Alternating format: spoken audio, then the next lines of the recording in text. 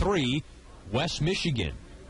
Great Lakes trying to keep them close and have a chance going into the bottom of the ninth. The 1 1 pitch is skied out to left field and deep. On his horse is Michael Ahmed. He looks up, and this ball is gone. A two run home run for Michael Gerber, and that is a crushing blow for the Great Lakes Loons, who now trail 6 to 3 in the top of the ninth inning.